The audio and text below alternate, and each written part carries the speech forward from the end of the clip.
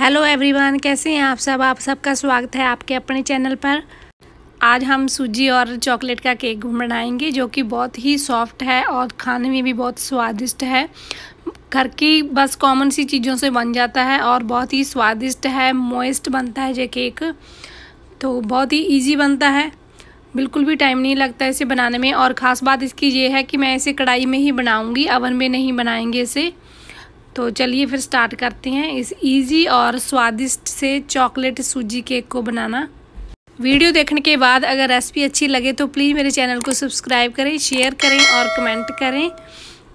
इस केक को बनाने के लिए मैंने यहाँ पर लिया है एक कप रवा।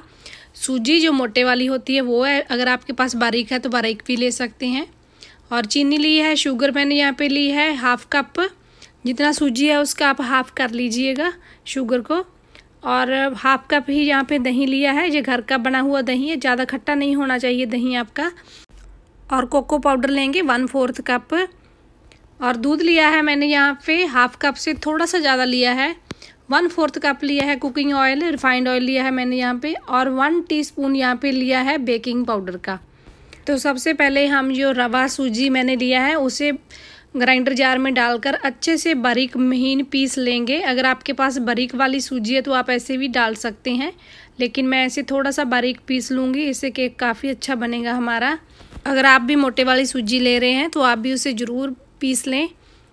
और इसके बाद हम इसमें बाकी की चीज़ें सभी डाल देंगे। सबसे पहले इसमें हम दही डाल देंगे। और उसके बाद हम इसमें डाल देंगे ऑयल। रिफाइंड ऑयल जो लिया है मैंने और उसके बाद हम डाल देंगे इसमें चीनी। आप चीनी कोई भी यूज़ कर सकते हैं, मोटे वाली हो तो भी चलेगी इसमें। और इसके बाद हम कोको पाउडर भी डाल देंगे इसमें ही। और साथ में डाल देंगे दूध। अब थोड़ा सा दूध मैंने इसमें बचा के रख लिया है, वो बाद में काम लेंगे हम दो तीन टेबल स्पून के करीब। और अब हम इस ढक्कन को लगाकर ग्राइंडर जार के और इसे अच्छे से तीस से चालीस सेकंड के लिए ग्राइंड कर लेंगे, जैसे कि घुमा लेंगे मिक्सी में। इससे हमारी जो मेहनत है, वो बच जाएगी, हमें कम मेहनत करनी पड़ेगी और टाइम भी बचेगा हमारा। अच्छे से पीस लेंगे सभी चीज़ों को मिक्स हो जाएगी ब्लेंड हो जाएँगी सभी चीज़ें एक साथ और इसके बाद हम इसमें थोड़ा सा जो बचा हुआ दूध है, वो भी डाल देंगे। क्योंकि जो बैटर हमने बनाया है, वो काफ़ी थिक है और सूजी कुछ टाइम के बाद और भी ज़्यादा फूल जाएगी। तो थोड़ा इसे चला देंगे ऐसे स्पून की हेल्प से। और इसके बाद हम इसे कवर करके छोड़ देंगे कम से कम तीस मिनट के लिए। इससे सूजी भी हमारी अच्छे से फूल जाएगी और इसके बाद हम इसे चेक करेंगे। तो तीस मिनट के लिए आप एक साइड पे रख दें इस बैटर को। जब तक हमारा बैटर सेट हो रहा है, तब तक हम कढ़ाई को भी प्री हीट कर लेते हैं। यहाँ पे मैंने नॉर्मल एक कढ़ाई ली है जो सभी के घरों में होती है। उसमें मैंने डेढ़ कप डाला है सॉल्ट का, जो रेगुलर सॉल्ट होता है खाने वाला। और इसकी जो लेयर है सॉल्ट की जो कम से कम एक इंच होनी चाहिए आपकी कढ़ाई के अंदर। और इसे प्री हीट करने के लिए हम छोड़ देंगे ढककर ऊपर से। हीट को मैंने मीडियम रखा है, आप अपने गैस को मीडियम रखें और इसे प्री हीट होने दें। और कढ़ाई को हम प्री हीट इसलिए करते हैं क्योंकि जैसे ही हम इसमें अपना केक डालेंगे, रखेंगे तो वो पकना स्टार्ट हो जाएगा उसी टाइम पे। जब तक हमारी कढ़ाई प्री हीट हो रही है, तब तक हम अपना केक टिन तैयार कर लेते हैं। मैंने यहाँ पे राउंड शेप का केक टिन लिया है। आप जो आपके पास अवेलेबल हो केक टिन वो ही यूज़ कर सकते हैं। तो सबसे पहले इसे ग्रीस कर लेंगे ऑयल से अच्छे से, ताकि जब भी हम इसमें केक अपना बेक करें तो नीचे से जले नहीं। टिन हमारा अच्छे से ग्रीस हो गया है और अब हम इसमें डाल देंगे बटर पेपर अगर आपके पास बटर पेपर नहीं है तो आप कोई सी भी प्लेन शीट ले लें। उस पर इंक वगैरह ना लगी हो और न्यूज़पेपर भी नहीं ले सकते आप। इस बात का ध्यान रखें प्लेन शीट ले लें आप कोई भी। प्लेन जो कागज़ होता है, कोरा कागज़ होता है और उसे ग्रीस करके लगा सकते हैं अच्छे से। जैसे मैंने बटर पेपर लगाया है, उसी तरह आप प्लेन शीट भी लगा सकते हैं। आप अपने टिन के साइज़ की कट कर लें उसे कैंची से अच्छे से और लगा लें। इस, इसी तरह से आपका केक फिर भी अच्छे से बेक होगा। तो अब टिन भी तैयार है तो हम बैटर को चेक कर लेते हैं। तीस मिनट हो गए हैं, काफ़ी थिक हो गया है, सूजी फूल गई है तो अब हम बचा हुआ दूध भी इसमें डाल देंगे। और इसे अच्छे से मिक्स कर लेंगे, घुमा लेंगे स्पून की हेल्प से। और आप विस्कर वगैरह का यूज़ ना करें इस टाइम पे, आप स्पून से ही मिक्स कर लें इसे बैटर को। एक दो मिनट के लिए अच्छे से मिक्स करते रहेंगे, काफ़ी स्मूथ हो गया है सारा बैटर तो अब इस टाइम पे हम इसमें डालेंगे बेकिंग पाउडर बेकिंग पाउडर को आप एंड में ही डालें जब आपकी कढ़ाई वगैरह जहाँ आप अवन में बना रहे हो तो अवन प्री हीट हो चुका हो। बस बेकिंग पाउडर डालते ही हमें फटाफट से केक को बेक होने के लिए लगा देना है। और अगर इस टाइम पे आपको ड्राई फ्रूट्स वगैरह या फिर टूटी फ्रूटी डालनी हो अपने बैटर में, अपने केक में तो डाल सकते हैं। तो कंसिस्टेंसी भी आप चेक कर लें पोरिंग वाली होनी चाहिए केक की।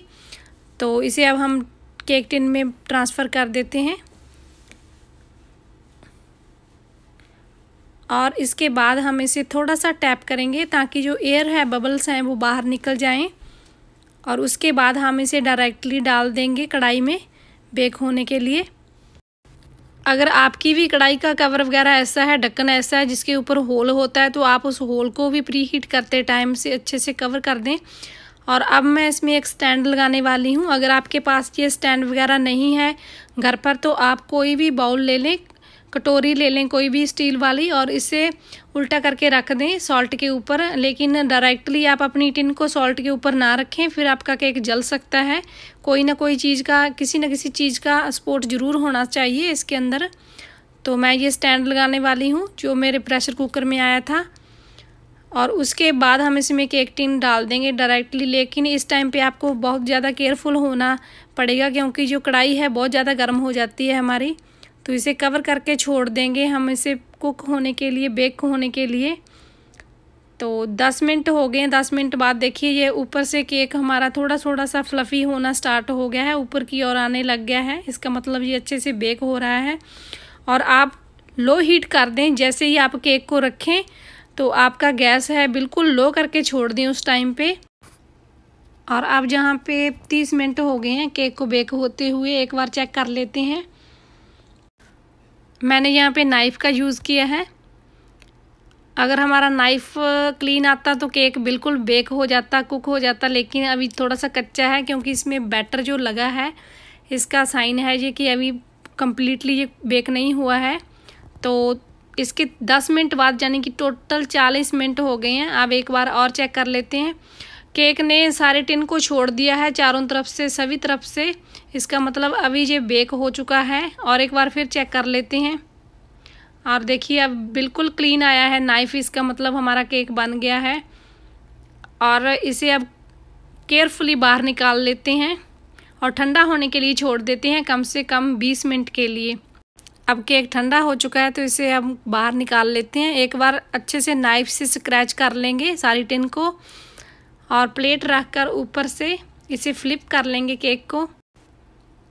और देखिए कितनी आसानी से केक निकला है टिन से, क्योंकि हमने बटर पेपर वगैरह लगाया था। और अच्छे से बेक भी हो गया है, कितना अच्छा कलर आया है, स्पॉन्जी दिख रहा है। अगर आप चाहें तो ऐसे भी खा सकते हैं इस केक को, लेकिन थोड़ा सा डेकोरेट करेंगे तो ज़्यादा अच्छा लगेगा। इससे जो क्रैक वगैरह है वो भी नहीं दिखाई देंगे। यहाँ पे मैंने चॉकलेट स्प्रेड का यूज़ किया है ऐसे डेकोरेट करने के लिए। आप कोई सा भी चॉकलेट ले लें, जो डेरी मिल्क वाला होता है चॉकलेट वो ले सकते हैं और इसे मेल्ट करके इसके ऊपर लगा दें नाइफ से। इससे देखने में हमारा जो केक है काफ़ी शाइनी लगेगा अच्छा लगेगा। तो आप भी ज़रूर ट्राई करें इस केक को घर पर। बहुत ईजिली बन जाता है और बहुत ही पसंद करते हैं बच्चे इस केक को। बच्चों का फेवरेट रहता है ऑलवेज ये केक तो सभी तरफ़ से अच्छे से घुमाकर हम इस पर चॉकलेट स्प्रेड लगा देंगे। और देखिए कितना शाइनी लग रहा है। और ऊपर से इसके ऊपर हम डाल देंगे थोड़ी सी शुगर वाली कैंडी आती है जो केक को डेकोरेट करने के लिए। ये मार्केट से इजीली मिल जाती है और बहुत सस्ती मिलती है, ज़्यादा महँगी भी नहीं आती। इससे हमारा जो केक है काफ़ी टिमटिम लगेगा देखने में। अगर आपके पास शुगर कैंडी वगैरह नहीं अवेलेबल है तो आप इस टाइम पे अपने केक के ऊपर थोड़ी सी ड्राई फ्रूट्स को बारीक बारीक काट के भी डाल सकते हैं। उससे भी आपका केक अच्छे से डेकोरेट हो जाएगा, सुंदर लगेगा ब्यूटीफुल लगेगा देखने में। तो यहाँ पे सारी शुगर कैंडी मैंने डाल दी हैं। अब इसे हम कट करके देख लेते हैं कि कैसे पका है, कैसे बेक हुआ है, कितना सॉफ्ट बना है या स्पॉन्जी बना है।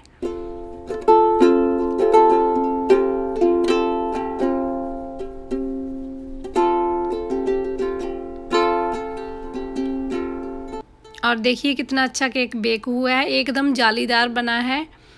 बहुत ही सॉफ्ट बना है केक। आप भी खा लीजिए। और अगर आप सबको आज की ये मेरी रेसिपी अच्छी लगी हो तो प्लीज़ मेरे चैनल को सब्सक्राइब करें, शेयर करें और कमेंट करके मेरे साथ ज़रूर शेयर करें कि आपका केक कैसा बना इस रेसिपी के साथ। मुझे आपके फीडबैक का इंतज़ार रहेगा। Thank you for watching stay safe stay healthy take care bye bye